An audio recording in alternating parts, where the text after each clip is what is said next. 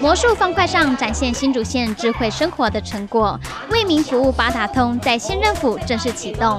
到新竹县政府官方网站的左下角就可以找到八达通入口，点进去就会跳出八达服务管道。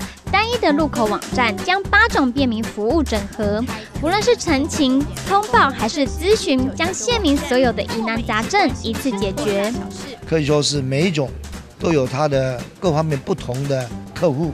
啊，也有不同的产业的领域，更有不同的乡亲朋友，让他们提供最好的服务，提供他一个数据的分析。我相信利用这种科技的方式，让这样一个服务能够更为具体化，还有更为能够量化。